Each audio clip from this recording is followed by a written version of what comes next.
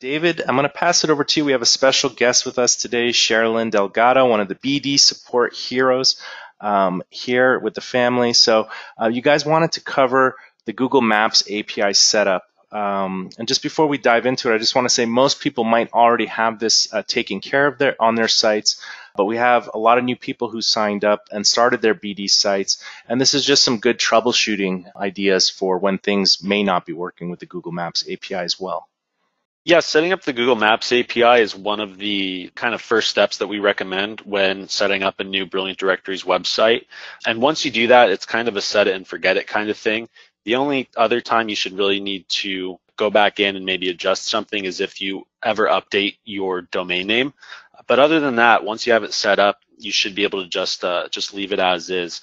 But as Jason mentioned, we have had a lot of new users sign up recently. So we did want to go over some um, some kind of troubleshooting tips because it is a, a multi-step process to uh, to enable the Google, Google Maps API, and although it has gotten easier over the years, some people still do run into various problems when setting it up. So we wanted to give you the best practices for if you do have any issues, what steps uh, you should go through to troubleshoot it, what we can do to help you out, and what resources we have available to hopefully help you troubleshoot whatever issues you may be uh, encountering. So uh, Sherilyn will, uh, she's uh, on our support team. I'm sure some of you have already interacted with her a little bit if you've ever submitted a, a support inquiry, but Sherilyn will go through those best practices for troubleshooting the Google Maps API. Hey guys, I hope everybody's doing good. Yeah, so we're just going to dive into some of these topics. Um, so the first one, you know, the first topic we're diving into is what does the Google Maps enable for your site? So this unlocks a lot of functionality. We're just going to quickly read over these and then I'm going to jump over to the demo site and we can show some of these live. So a lot of the benefits is assigning latitude and longitude locations to all of your member profiles and your member posts, such as job listings and classifieds, all of the location-based searches that the members can conduct. Uh, we have all of these fun Google Maps with pins. They're very interactive. This also helps with all of the lead matching. You know, when a visitor comes in and submits a lead, it matches them automatically to the member, you know, within the location specified. We have add-ons that use this functionality. So I'm going to go ahead and demonstrate some of it on our demo site. Awesome. Yeah, let me pass the presenter role to you. All right, perfect. Okay. Yep. So like I was saying, so members can conduct location searches, you know, based on where they are, what they're looking for.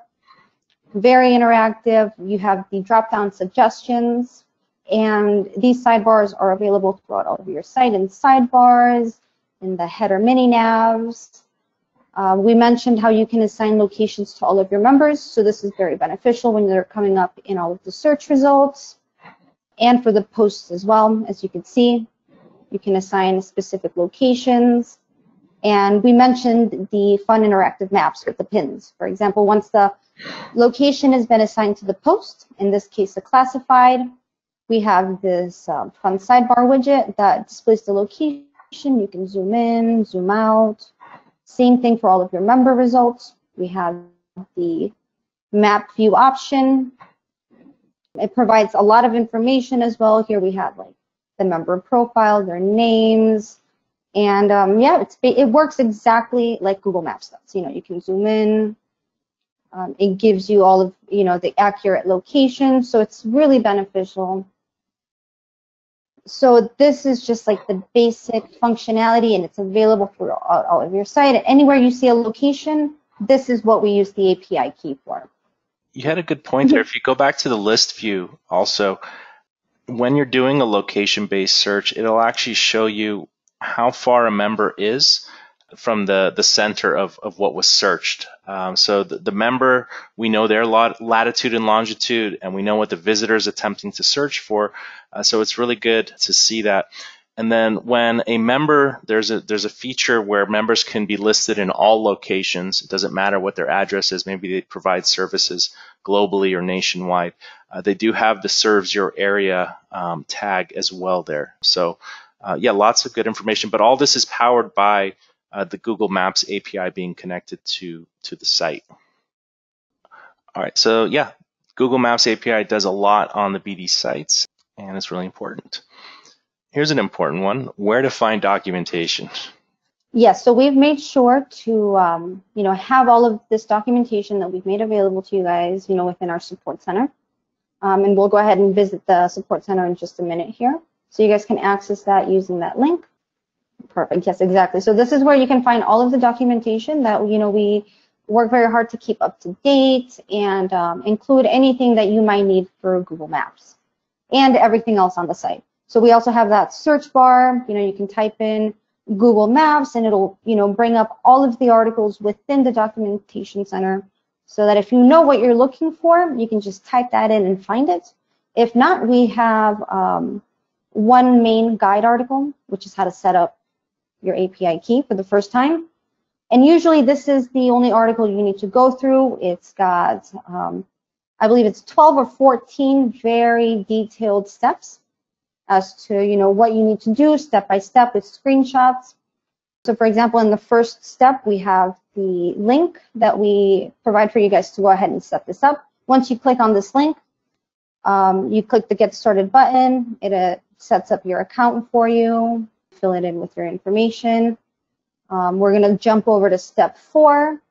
Because step three is just filling out the account. So step four is um, very important because this is where you're enabling the APIs.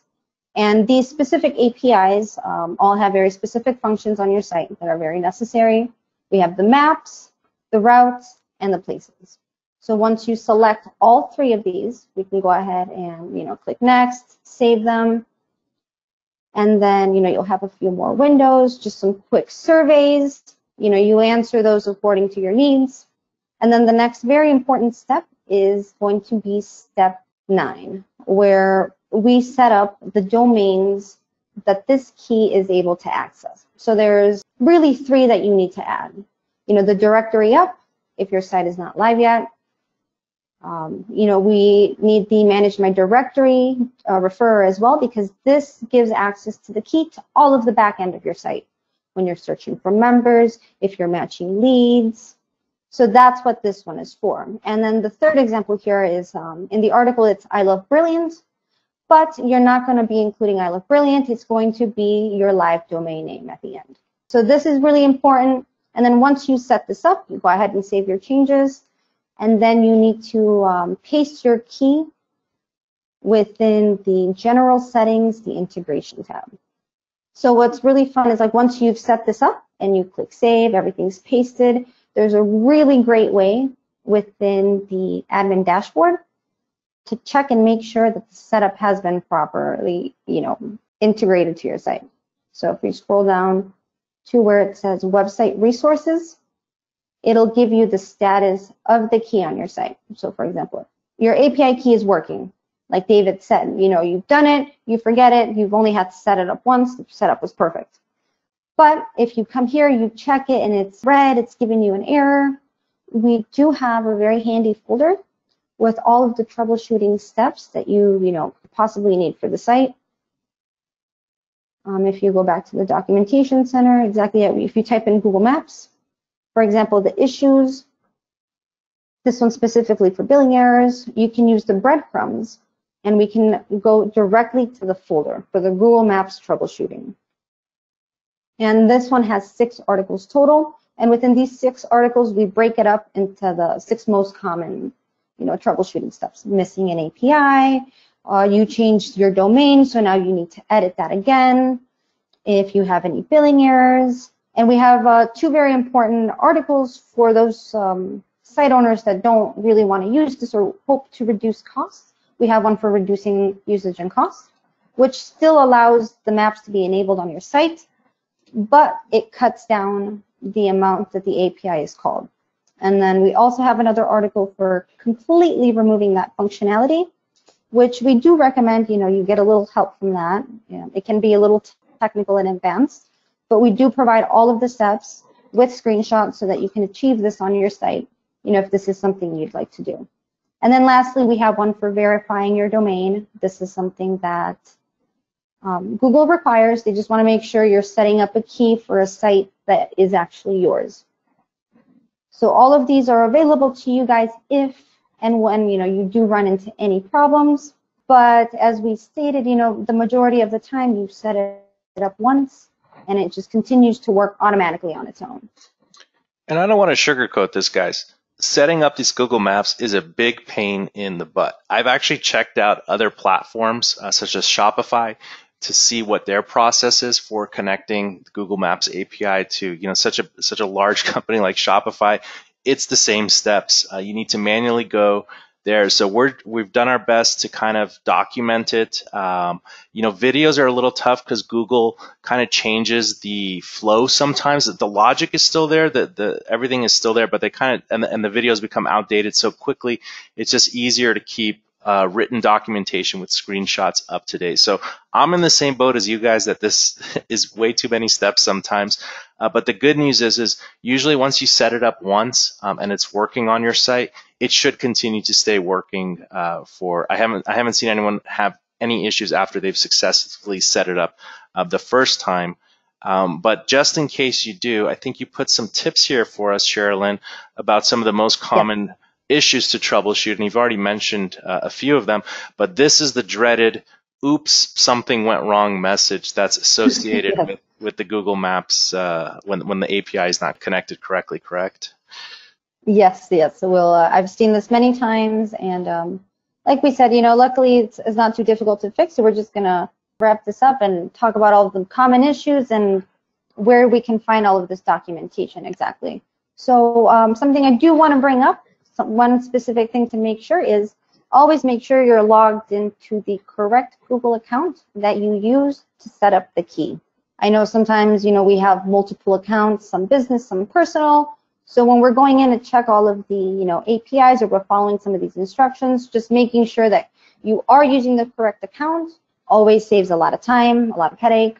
So that's always my biggest recommendation. The second is making sure that all of the APIs are properly set up on your site within the API. We have an article going over how to fix this, and it's for the three main APIs, which is the places, the geocoding, and the maps JavaScript. But all of this information is in the article, so it makes it really easy to follow along. The third tip we have is to make sure you have a valid billing account. Just to chime in real quick uh, regarding the billing account, some people don't realize that when you do sign up to uh, create a Google Maps API with Google, they do require you to have a credit card on file. Google started requiring this, I think, close to two years ago now, um, but they do still provide, I think it's up to $200 in monthly credits. And that credit typically does cover any costs you may incur by using the Google Maps API on your website if Google does start to charge you for your usage, if you do exceed the credits that they provide you, then that typically means your website's generating uh, enough traffic where you're generating enough revenue from your members where whatever amount they may charge you for utilizing the API, uh, it's most likely negligible. So although you do need to have a credit card on file, the vast majority of Brilliant Directory's websites won't be charged for utilizing it. Exactly, yeah. And if you are worried about the cost for your website, we do have those two articles we mentioned, the one about reducing costs or just altogether removing the functionality if that's the direction you'd like to take the site in. Fourth, you know, tip we have is making sure that the domain names are correct within the key, like David mentioned earlier. If you decide to change your domain later on, take your website in another direction, this is one of um, the main steps that you'd have to complete again which is just updating the domains, which is a two minute process. And we have step by step instructions for this too.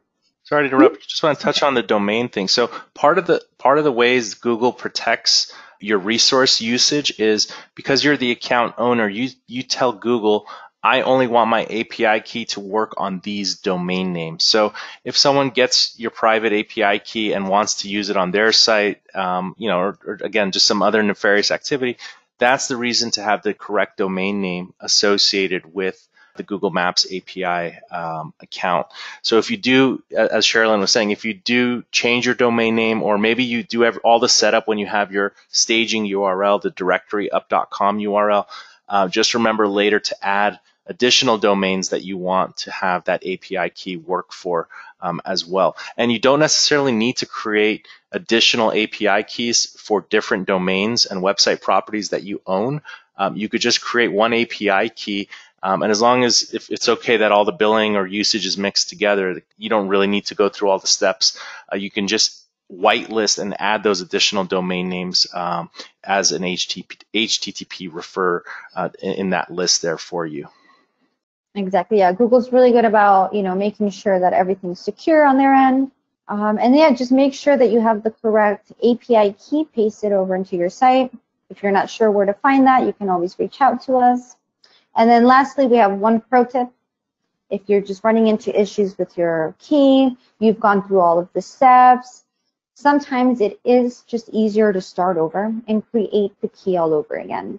Because sometimes this is an issue on Google side with the setup, and just recreating the process starting over again it's successful 99% of the time. Or if you're not sure how to do this by yourself, you can please go ahead and send us a ticket. We're always super happy to help, and um, we'll get this back up and running on your site in no time. And Eric asked a really good question. He said he's had his site hosted with Brilliant Directories for six years now. And would there ever be a time where he would need to go in and double check to make sure all the settings are up to date? Uh, typically, no the only time you should need to do that is if for whatever reason you notice on the front end of your site you're running into that uh, like a little error when trying to put in an address for a location-based search or you, you notice the maps aren't loading for some reason.